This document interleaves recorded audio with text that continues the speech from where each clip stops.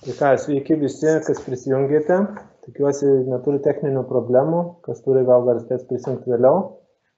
Šiandien su mumis e, svečiuose Proofpoint verslo klientų vadybininkas Baltijos šalise Elijas Halme. Hi, Elijas. Elijas, hi. Hello, hello. Kestutis. Ir aš Kestutis iš Bluebridge, e, vyresnysis sistemų inžinierius konsultantas. Kaip žinia, elektroninis paštas yra kanalas numeris vienas, kaip šiandien dienai kengsmingas programinis kodas patenka į mūsų įmonės ir organizacijas, taip pat ir įsilaužėliai iš išorės. Nors pats Proofpoint nėra labai gerai žinoma šiapus Atlanto, tačiau Gartneris pripažįsta kaip vieną iš lyderiaujančių gamintojų pasaulyje elektroninio pašto saugumo srityje. Kas svarbu pabrėžti, kad tai yra specializuotas gamintojas, kuris dirba ties elektroninio pašto sauga ir visas jo produktų portfelis ir ekosistema sukasi apie tai. Ir Proofpoint iš tikrųjų turi tai, ko mes matom trūksta labiausiai pas klientus, tai ir efektyvių saugumo prasme produktus, taip pat yra, turi įskiepius į elektroninio pašto programas tam, kad vartotojai galėtų lengvai ir greitai pranešti apie incidentus taip pat turi įrankius leidžiančius administratoriam masinio phishingo kampanijų metu ištraukti laiškus iš visų vartotojų elektroninių pašto dėžučių, ką mes dažnai pastebim, kad nėra galimybės ir kyla chaosas. Taip pat saugos pareigūnams įgaliotiniams vėlgi turi produktus leidžiančius treniruoti phishingo platformas visus savo organizacijos darbuotojus ir gerinti atsparumą socialiniai inžinieriai bei kitų produktų. 2019 metais mes į Bliubridžą gaudavom saug, kreipinių saugumo incidentų iš klientų tokiam temam. Tai retas būdavo, kad klientas patenka į juodosius spam sąrašus ir prašo iš juos pašalinti problemas. Dažniausiai būdavo susijętos su tai, kad nėra bazinio elektroninio pašto saugumo apsaugų. Tačiau buvo ir kreipinių, kad, pavyzdžiui, praeidavo phishingas į Office 365 elektroninio pašto dėžutės ir klientai tikrai būdavo nustebę, nors naudodavo ir planus Microsoft E3 ir kitus. Ir tai rodo, kad apsaugos yra neefektyvios. Taip pat turėjome ir užvaldytų Office 365 paskirų. Tai čia pagrindinė priežastis iš tikrųjų būdavo tai, kad vartotojai, vartotojams nėra įjungtas kelių faktorių autentifikavimas kas šiandien dienai, jeigu jūs naudojate Office 365 ar Google Suite, yra bazinis minimalus saugumo lygis kiekvienam vartotojui, turinčiam elektroninę pašto dėžutę, tai jungti. Taip pat turim su incidentais, kada buvo vykdomas finansinis sukčiavimas dideliu mastu ir kalbos eidavo apie šimtus tūkstančių eurų pervedimų.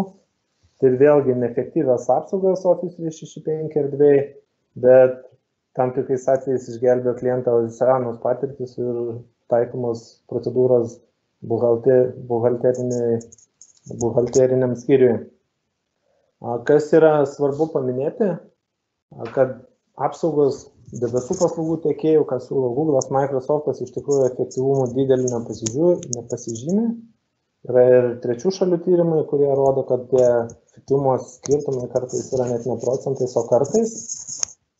Ką kalba apie grėsmės ne ką mes matom ką gartneris įvardina kalbant apie elektroninio pašto saugumo grėsmes yra trys pagrindinės tai kenksmingo programinio kodo patekimas kaip prisegtukai į organizaciją čia dažniausiai susiję su a, šifruojančia programinė įranga jos patikimu kitos dvi didžiosios bėdos įvardyjamos tai yra netikri laiškai nuo įmonės vadovo matoma lietuvoje ir office trys šeši penki paskyrų perėjimas phishing atakų pagalba. Taigi kaip matyti, paskutinės abi grėsmės susijusios su phishingu.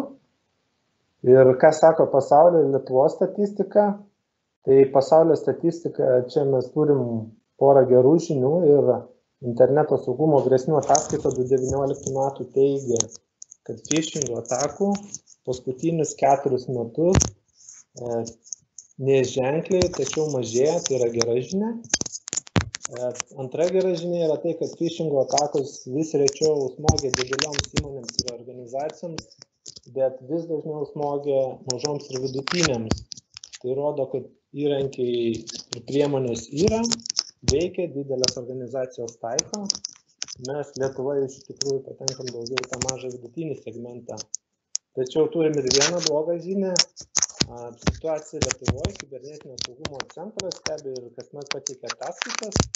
Tai 2016-2018 metais, nors kibernetinio saugumo centras kaip phishingo atskirai neišskiria, jį kartu pateikė su socialinės inžinierijos skaičiai, tačiau nuo 2016 100 tūkstančių, 2017 188 tūkstančiai, 2018 250 tūkstančių socialinės inžinierijos incidentų. Tai Lietuvoje tai auga. Ir phishingas, kaip, kaip žinia, phishingas jau taikomas skirtingai tiek technologiškai, tiek psichologiškai į skirtingus organizacijos vartotojus ir grupės. Vienaip atakuojami vienaip atakuojami įmonių vadovai, kitaip atakuojami vadybininkai, asistentai, trečiai buhalteriai ir personalo darbuotojai. Dauguma elektroninio pašto sprendimų žvelgia vienodai į visus elektroninius pašto adresus ar visas pašto dėžutės, tačiau Proofpoint mato tai kitaip ir apie tai šiandien papasakos svečias ir partneris Elijas. Viso webinaro metu galite užduoti klausimus į kuriuos atsakysim klausimų sesijų pabaigoje. Taigi, Eli, Elias, now it's your turn. Kestutis. Let me share my screen. Can you see my screen well? Still no. One second.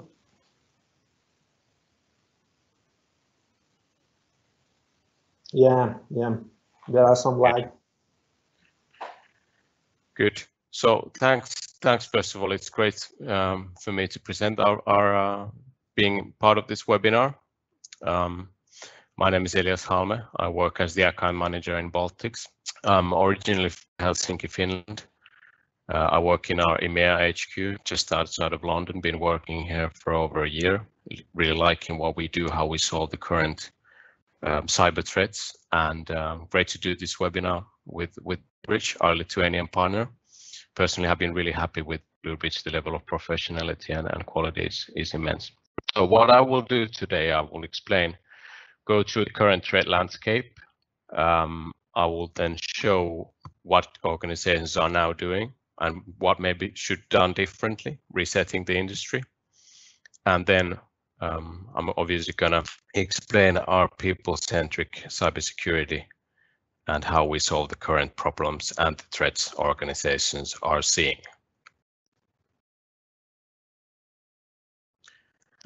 So if we take a deeper dive to current landscape, the main thing is it's characterized by humans. It basically means that human humans are targeted, not infrastructure any longer and there's no single threat actor that dominates. Uh, well, there's the Emotet peak. Besides that, there's no single threat actor that dominates. It means that the uh, threats nowadays are highly targeted towards people and individuals. Second thing is that there's human activation behind. It means that the cyber criminals want people, users to take an action in order to succeed.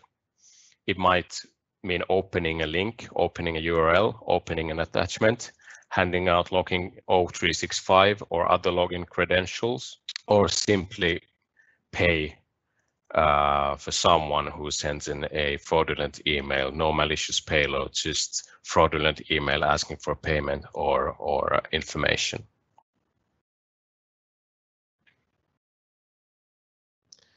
Third thing is that if there's a manual, um, something manual that the receiver must do, the human who receives threats, so it's on the other side as well. It means that the bad guy, the cyber criminal, also has to do something. So there's manual action, human interaction on both sides, on the receiver's end and also the sender's end. So all in all, the current threat landscape is fully characterized by humans. Interesting fact here to point out, as you can see at the end of the curve, threats go down because it's actually Christmas time. So we see actually that uh, the bad guys are also celebrating Christmas and not sending uh, threats when it's Christmas holidays or New Year's. It also goes down for the summer because apparently cyber criminals like to spend summer holidays as well as we we do, we good citizens. So that is the current red landscape, what we see. If we take a deeper dive about what's happening, so it is characterized by both business email compromise and email account compromise. Business email compromise means that someone pretends to be you. I would say uh, I would say Nordics and Baltics most typical uh, example would be the so-called CEO mail. Someone spoofs a CEO's email uh, address, sends an email to the finance department and asks to pay a bill immediately. And unfortunately, quite often organizations pay and afterwards noticed that it was a fraudulent mail. Uh, the number on the right hand side is is in US from FBI. It's a big number of money, uh, but that's only the reported number because some organizations don't want to report these cases because then they would might uh, face other uh, payments or, or fines in the form of GDPR breaches or so. So that is the one thing um, with uh, with email. Someone is pretending to be, someone is spoofing your email. The other thing is that someone actually becomes you. Someone does a technical compromise on your account, becomes you, and moves that way laterally inside the organization, or then spoofs uh, spoofs the um, employees, colleagues, and in the bigger ecosystem as well, your business partners. That is actually the worst thing if if someone is pretending to be or is you and spoofs your uh, business partners. So that that is uh, this is a huge problem for organizations globally, I believe. So for you as well, you are seeing seeing these fraudulent emails coming from left and right. Second thing is that there's two types of organizations, those that are already in the cloud and those that are on their way to cloud. It also means that there are those that have been breached and those who are yet to be breached. We see that customers who have become our customers, 45% uh, of these organizations have had compromised cloud accounts, which is a staggering huge number. And why it is a problem? Because this is the way the bad guys, the cyber criminals, want to come in and penetrate an organization. What they want to achieve is a persistence login in order to create persistence so that cyber criminals can achieve their goals whilst they get into the organization, they breach the account. Usually if they breach an OCC, O365 account or other cloud account, they create a new users for themselves, so-called ghost users, in order to create this persistence um, persistence uh, login. They send fraudulent email. They do internal business email compromise. If I would receive an email from my colleague from his or her account, I would definitely believe and probably take an action. And of course, in bigger ecosystem for business uh, partners as well.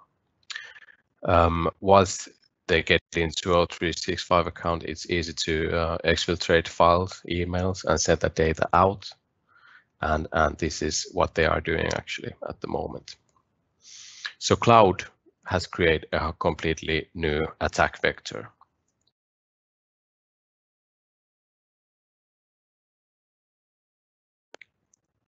The attack chains are quite long nowadays and quite complex, but the fact is that they start with an email that is what I wanted want to point out here that attacks target start with an email even though they are quite long, the attack chains. And well, quite big number of all the threats are hosted in, in Microsoft's environment and bad guys actually cyber criminals have O365 themselves and they try they do all own pen testing on, on Microsoft environment and O365 to understand what works. So basically now we've gone through the current threat landscape. I, I want to put it in a nutshell. So three things that we see basically. Threats use social engineering not vulnerabilities in the organization. 99 times out of 100, there's human interaction on successful breach. Move to, moving to cloud, shift to cloud has created a completely new threat vector. And email fraud is a massive issue for companies of all size.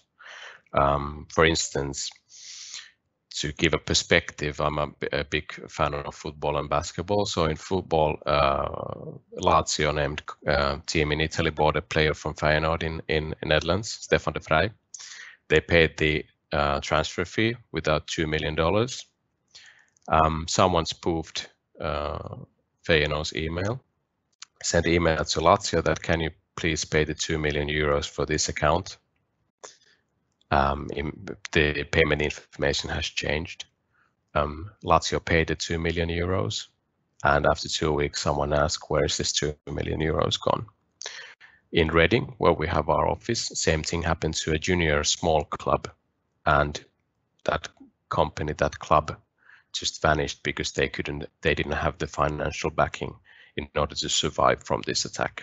So just to give an example, email fraud is a is a massive problem for companies and organizations of all size. Good. So now we walk through the current threat landscape that is characterized by humans. Um, I'm going to concentrate a bit more to email and just a bit make it a bit more interactive. Um, I want you guys to uh, guess when the, or if you know, all the better, which decade was the first email sent? Was it in 1960s, 1970s, 1980s, or 1990s? Um, I give you a short uh, moment here to think.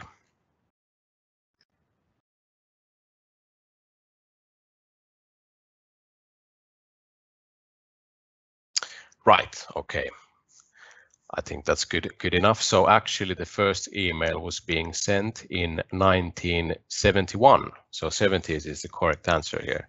And what makes it interesting is that email is so old invention, but is still characterized in the current threat landscape. And that is the, the, the uh, avenue bad guys are actually using, uh, cyber criminals are still using. So according to Gartner, um, these are the numbers organizations usually put their security spending. And it kind of makes sense. You probably, as an organization, want to secure your network. Um, after that, you want to secure your endpoints and, of course, web surfing as well. And that has maybe led to the fact that only 10% of, of budget is put to email. Whereas according to Verizon, uh, sorry, Verizon, 94% of breaches start with attacks targeting people with email, which is incredibly incredible number. So basically, if you could block 94% of all attacks, that that would already be quite a good um, cybersecurity strategy. Other thing is is so-called insider threat. Um, there are two type of insiders. They are malicious and non-malicious. Malicious are the uh, bad apples, the uh, rotten eggs in the basket who uh, maliciously are, are breaking compliance or, or rules. And then there are so-called non-malicious insiders as well, who uh, are not being compliant without probably understanding it. So these these two are provi providing this issue. So 96% of all breaches start with people, and of which email is by far the number one threat vector globally. So what are, what do organiza organizations do nowadays? So kind of the old school idea is to secure the um, um, physical infrastructure, the physical traffic, putting up firewalls, secure the data, secure the traffic. Whereas nowadays the bad guys have realized that is secured, they're gonna focus on people, the human error. And people unfortunately have made this quite easy there's a lot of information available in internet that bad guys use. Um, social media, the worst. Um, for instance, in LinkedIn, many people give thorough explanation explanations about their work roles and their titles and what they do. And criminals use this information. They know which one they should target, who has the access to information they want to get their hands into. Um, so they, they, they leverage this information.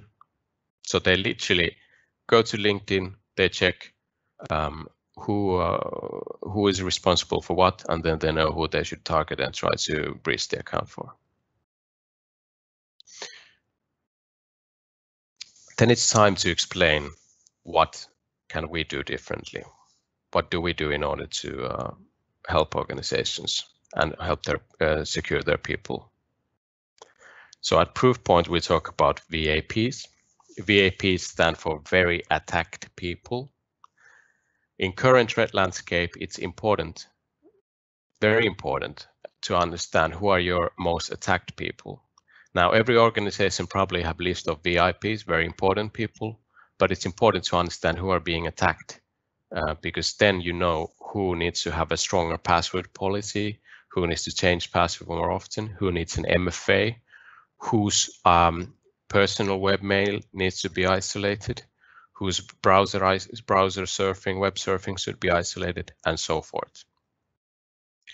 So how do we do it? First, we show who are being under attack, who are seeing threats in the organization. Um, this might vary from high volumes of attack, like brute force attack on O365 that we see a lot, all the way to very sophisticated um, attacks sent, sent at right time at the right person. Really hard to detect. We understand and show who are vulnerable in the organization, who are likely to fall to those threats they are seeing, people who click on everything that moves, very click happy, people who are not well educated when it comes to security awareness training, and then also using risky devices um, and, and um, um, cloud applications that IT doesn't want them to use, third-party applications. Third thing is privilege. Who repre represents risk to the organization? And this is very interesting, and this is something that usually surprises. Um, it's who has access to business critical data or any data that the bad guys wants to get their hands into. For instance, we did a POC, proof of concept, to a, a big French company, and their very uh, most attacked person was a person responsible for fire fire alarms because the criminals wanted to know when they have fire alarm drills so that they can sneak into the buildings. And this was a big surprise for the IT. They didn't have any um, visibility or understanding for this. So this is the VAP is, is, is the bread and butter what we do. And we actually do it in our um, sandboxing solution. So this is the dashboard of our sandboxing solution. Here, first you see, this is the, where you see a very attacked people, the very attacked uh, VAP dashboard. First you see the attack index. This attack index, uh, the number comes from the idea of how what kind of threats and attacks these people are seeing. If it's something very typical seen all over the world um, a lot, then the score is maybe lower. When it is something very sophisticated and rare, then the attack index goes up. You see what kind of threats they are. We have the best threat intel team in the world. We also see most B2B emails and B2B threats. So we have very uh, unique um, view to threat landscape. The biggest companies in the world are our gateway customers. So you can actually leverage the same information as our customer. So you get more information about the threats. You see how many VAPs you have against average users. And why this is important, I said you, you, you can use this information to know who needs an MFA, who needs a stronger password policy, who needs to be educated, who needs to be isolated, and so on and so forth back in the days, CISOs probably, probably or, or InfoSec managers have had to go to board management and show that we are under attack, really. You need to understand this. Whereas gladfully many organizations nowadays, the board are much more awoke and realize this and they actually need you to show them and give information about the, about the threat landscape your organization is, is, is seeing and this information is, is golden for that use. When it comes to cloud, you see who has had suspicious logins to their O365 accounts. You can force an action. If there's a breach, you can force lockdown or password change. Um, you see risky third-party applications. O365 uh, gives with the OAuth token quite a solid backdoor to the organization. And of course, govern the data in the cloud as well is the third thing. Now, MFA is a good start, but there's some legacy protocols that bad guys use in order to breach the organizations like IMAP. So that is what we do. Then I'm gonna give you a short peek on our portfolio, which is quite uh, quite a lot. I'll try to explain it shortly but wisely. So what we see, what we do is that first we protect your people. We talk protect your users. We protect the number one threat vector that is email by blocking known threats, blocking new threats, and pulling malicious email if it comes weaponized after sending. DMARC is important it's in, incredibly important to authenticate your email domains.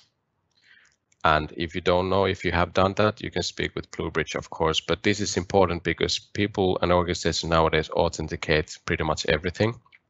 But it's incredibly important to uh, authenticate your email domains so that you see who is sending email in the name of your domain. Because this is what criminals do. They check in MX Toolbox or any other website if company has an, a DMARC record on on a, on a domain, and if not, then they want to spoof that domain and spoof your business uh, partners. Second thing is securing internal email. If if someone gets email from a colleague, secure that that it's not malicious. Secure cloud accounts um, so that they not cannot be breached, and personal webmail isolate that as well because if you have if bad guys can't get through the your business email, they highly likely would use Gmail or other personal webmail solution. Your users will always remain as the last line of defense. It's important to train them and educate them so that they, they can defend themselves, but your organization as well. And creating a loop of detecting and responding we have a solution that when your users receive a malicious mail, they can click a button that then draws that mail automatically, not only from that users, but every user who has received the same mail. So we always want to create that. And that's why we have adaptive controls on the right hand side. If something happens, because no one can uh, stop 100%, that's why we have adaptive controls that take action if we detect something. Uh, blocking data,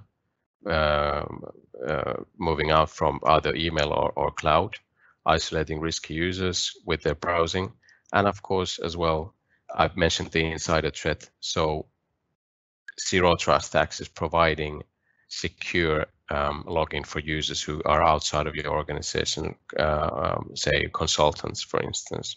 They have access to only that part of your network they need the ac access to, whereas VPN provides the access to everything. And insider threat management as well, the 2% I mentioned, having endpoint activity and and uh, and and kind of having the eye on those that there are no internal insider threat uh, risks. So basically, we protect your people from threats. We enable users to protect themselves and, and your organization, and we protect the data and people uh, as well. So this is what we do. It's quite a handful, but this is maybe better exp explanation about the portfolio we have. So we we secure your users, uh, we block threats, we protect the access, we protect your information, and we help you with compliance. That is Proofpoint. Now, we've been talking a lot about email uh, because email is the number one threat vector, and your focus definitely should be on email because phishing attacks and and, and uh, fraudulent emails without any malicious payloads everyone is seeing them a lot. This is um, anonymous data from a POC with a with a pro prospect who became a customer. They received during POC, they received 624,000 emails. And what we do first, our gateway blocks by IP reputation. That already quite a big chunk. After that, it's content that kicks in. If the spam phish malware bulk, we block further amount of emails. So these are the known threats. This is the gateway working. The next thing is the sandboxing, which is important because we're seeing more and more sophisticated attacks. So first we uh, do the attachment detonation and the URL rewriting. When the receiver receives the email, we rewrite the URL. But again, when user clicks it, this is very important because many most providers only do it when user receives it and then the bad guy can change the link and they don't check it when user clicks it we do it when receive, receivers get get the url when they click it as well these are the targeted threats the very um, how would say how would how would i say very harmful ones um, so all in all we blocked nearly half of of the emails got through and you, you, you don't have to take my word for it.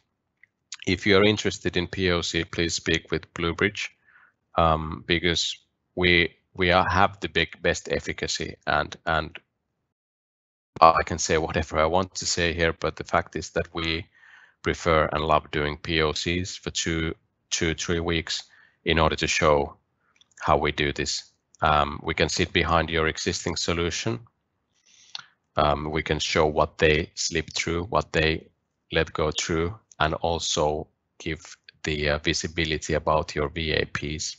So the efficacy, blocking more, and visibility, giving more, much more insight about how your organization is being attacked.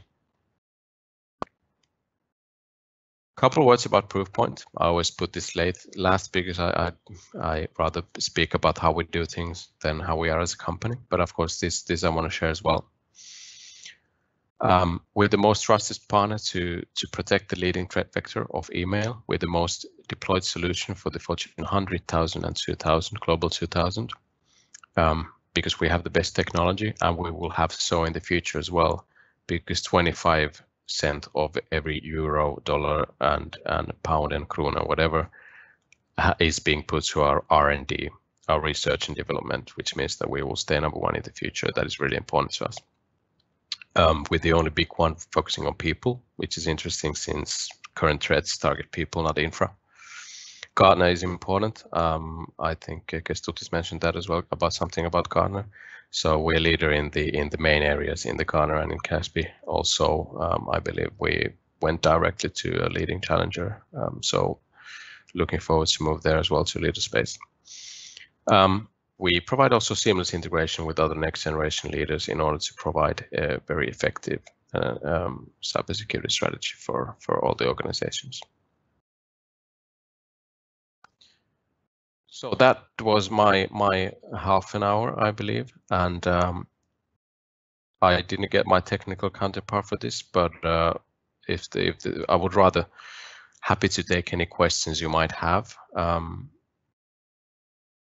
if there are any questions.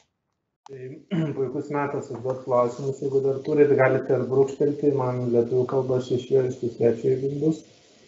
Ir dar prie tą pačią tada pakviesiu visus užpildyti trumpą atsiliepimą apie renginį klausimų pabaigoje.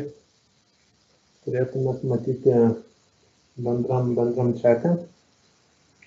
So thanks Elias for your presentation, very good presentation. My uh, pleasure. One more, more question to today we talk a lot about uh, cloud email security, Office 365, Exchange Online. It's maybe good to mention that Proofpoint suits to all email cases, on-premise, hybrid. Yes. Yes. So, if, for instance, gateway gateway can be be um, in as a virtual machine machine deployment, application deployment, or cloud deplo uh, deployment. Our um, email gateway. Okay, I don't, I, I don't see any additional questions. Tai thanks Elias for your presentation, for your time. Ačiū visiems dalyvavusiems. Atsakykite trumpai anketoj, kaip mes galėtumėm kitą kartą būti dar geresni. Ir tikiuosi iki sekančių susimatymų online. Visiems iki.